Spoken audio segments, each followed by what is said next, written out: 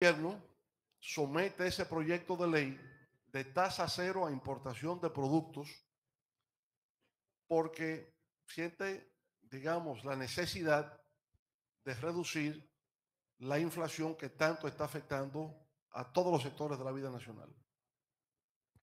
Entonces, dentro de esas categorías donde se aplicaría la tasa cero, o sea que no pagaría impuestos en las aduanas, están las carnes de diverso tipo, el pollo, las pastas alimenticias, la harina, el trigo, la soya, todo eso está contemplado en este proyecto de ley que el gobierno ha sometido para que eso se importe sin pagar impuestos, repito.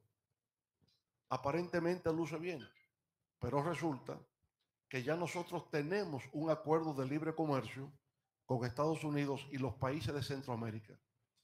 Y eso es de carácter recíproco.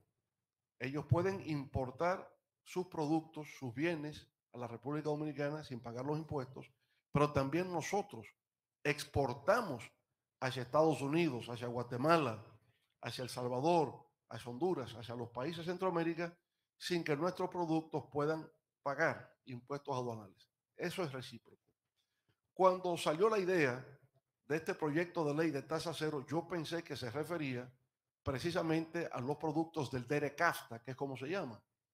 Y digo, bueno, pero esto me parece súper abundante porque ya eso está. Es un acuerdo, un tratado de libre comercio. Pero resulta que no se refiere a esos países.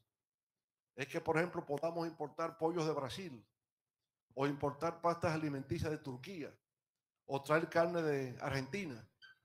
Pero resulta que nosotros no tenemos acuerdos de libre comercio con esos países, países amigos.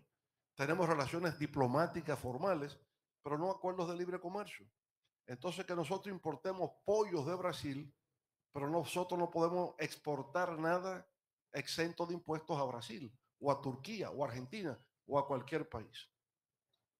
De manera que con la idea de bajar la inflación, de reducir el costo de la vida, el gobierno está creando un nuevo problema que no existía y es afectar a los productores nacionales. Porque los productores nacionales no necesitan que importemos pollos de Brasil. Lo que necesitamos es que importemos maíz para producir los pollos aquí. Es decir, necesitamos los insumos, pero que el pollo se produzca en la República Dominicana. Porque si nosotros afectamos la producción nacional para favorecer la importación de productos extranjeros, la República Dominicana no tiene futuro. Por tanto, la fuerza del pueblo ayer votó en contra de ese proyecto de ley y hoy reafirma ante ustedes que la fuerza del pueblo está en favor de la producción nacional y de que se busquen otras fórmulas para disminuir la inflación en la República Dominicana, que es la tercera más alta de los 34 países de América Latina y del Caribe. Y eso es una labor del gobierno que el gobierno tiene que hacer, no ser indiferente, no ser indolente a esta situación que está afectando la calidad de vida del pueblo dominicano.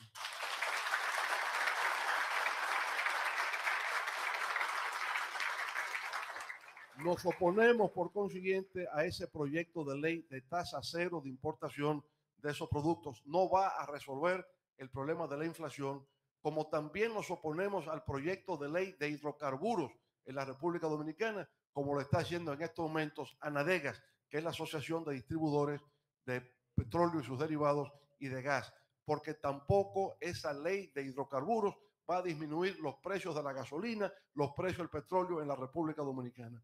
El gobierno está desenfocado, no está acertando en cómo resolver la crisis en la República Dominicana y eso es lo que provoca que cada día haya más ciudadanos que se sumen a la fuerza del pueblo y que ya la fuerza del pueblo es la alternativa democrática en el año 2024 para dirigir los destinos de la República Dominicana.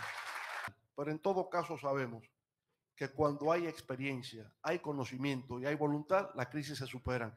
Y eso es lo que tenemos en la fuerza del pueblo. Muchas gracias a todos ustedes por compartir con nosotros. Bajo cualquier circunstancia, es para adelante que vamos.